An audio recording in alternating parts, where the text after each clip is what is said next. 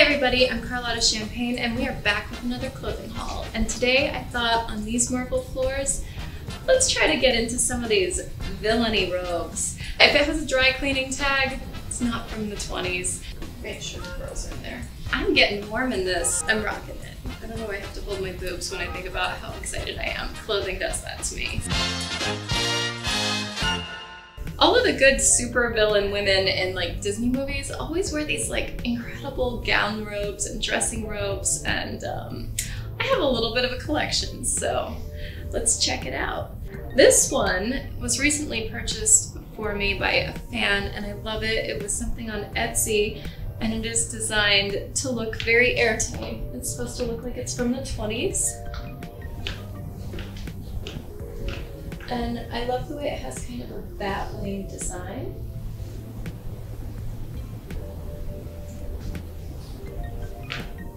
And I like the way it drapes, it's very pretty.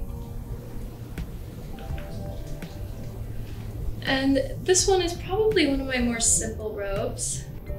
So let's get into some of the more wild ones. And we're back! And this robe, kind of going in the same time period a little bit. Arete would have been like really high in glam. This is, I mean, it's still pretty glamorous, but it's definitely got a retro vintage feel. This is modern to look vintage. I found it at a swap meet and they were trying to pass it off as like 1930s, 1920s. I'm like, no, let's just look at the stitching. This is done by like, you know, modern machines, you can tell. Yeah, if it has a dry cleaning tag, it's not from the 20s. so I, I, end up calling people out a lot because sometimes they're just trying to manipulate you in sales, especially in swap meets, but a lot of times they don't know. So you can always educate them. A lot of different ways to know are zippers, stitching, tags. Um, if it says made in China, it's a pretty good indicator that it's pretty new. you can tell if it was like made in Taiwan, what era it was. You can tell um, if it was made in Korea, like what's modern, what kind of goes back to like the 60s and 70s. Made in Japan is usually quite a bit older. Our trade routes in this country have changed up along the years. So pay attention to your tags. There's actually websites that show like the Women's Fashion Guild. You can look up the tags and like what time period they're from according to the design of their tag. They would change it every couple of years. I look up tags all the time just to get information on clothing. So modern to look vintage, but who cares? It's fabulous. Check this out. And it's got beautiful intricate beadwork. And then I'm just wearing a sexy lingerie set underneath because I don't want to wear like something lame. I want to wear like shorts Oh, cut off shirt. You have to be glamorous. Robes are for glamour.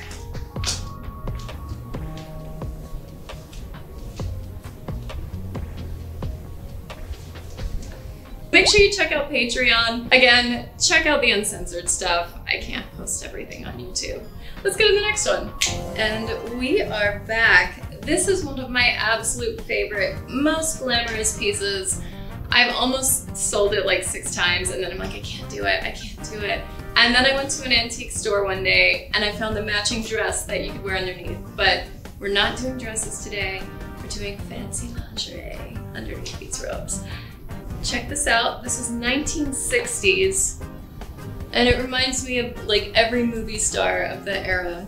Ridiculous colors. What's so amazing about this, this is ostrich. And ostrich is really, really expensive. And then they pair it with this like cheap nylon, like this robe without the ostrich is like a $2 robe. With the ostrich, it's like an $800 robe. It's crazy. It's a very collectible piece. I don't wear it very often. It sheds, it's, you know, feathers in my face, it's hot. But oh my god, it's so beautiful, guys. Look at it.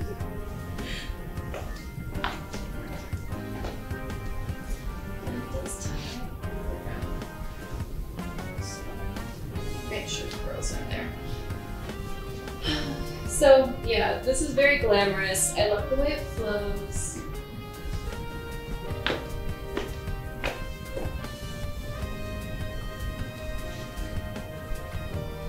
Makes me feel like a movie star. You guys gotta let me know which ones you like the most.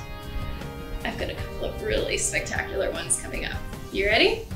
And we are back. So this one's kind of, it's not so elaborate, but it has the angel wings, which I'm a really big fan of.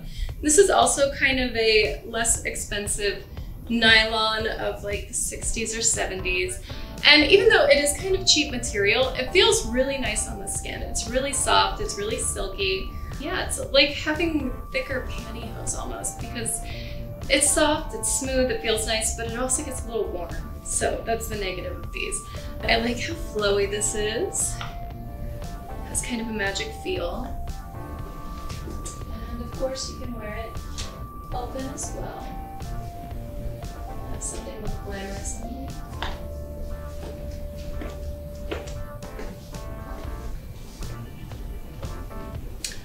And there we go.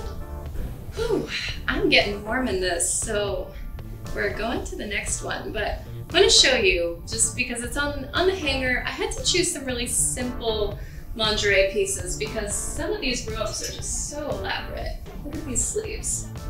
Bat wings. Amazing.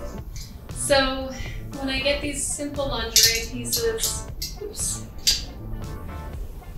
bras, panties, stuff like that, I'm just going with like plain black, plain white, really simple colors.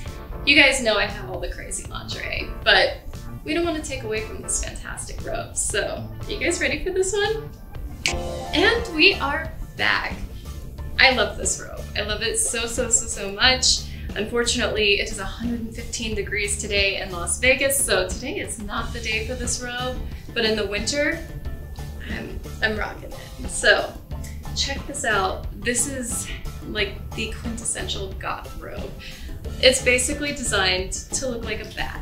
Reminds me of like Maleficent or some sort of super villain of a Disney movie. It's incredible. It's so well made, beautiful. It was custom made with my sizes. A fan purchased it for me as a birthday gift. I love it. I love it so much. So you've got to see the tail on this.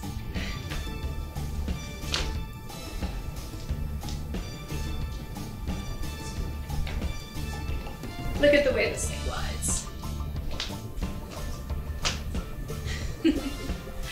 and it looks really nice open as well. It's got a good tie. I love the ties on it, the detailing, the fringe. It's really just a stunning, well-made, well-designed piece. Highly recommended for any person that's really into the goth look.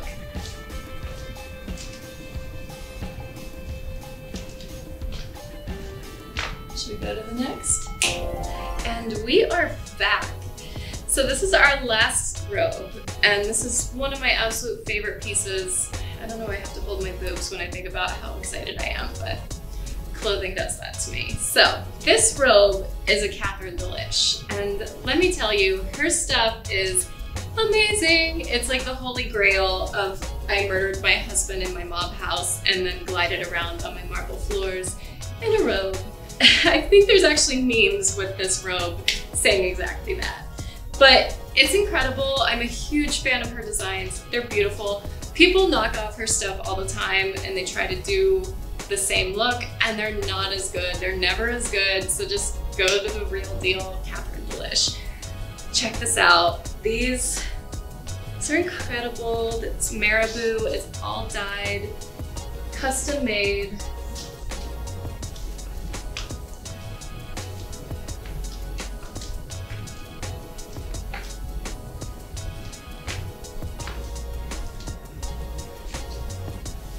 And of course you can untie it. Use this to tie up your enemies or boyfriends or whatever. And there we go. I kept all my lingerie really simple because I wanted to focus on all of these spectacular robes. So I'll probably be hanging out in this one all day. So keep your fantasies going, boys. I hope you guys liked all of my robes today. They're some of my favorite pieces. I live in robes, although to be honest, a lot of times they're like bathrobes, but that's okay. That's uh, Hugh Hefner life, right? So I will see you guys next time. And of course, subscribe down below. Check out my Patreon if you want all the uncensored goodies. OnlyFans if you also want uncensored goodies, but not of the hauls. And um, Instagram, whatever. I'm on social media. Find me. Check out those links. Bye.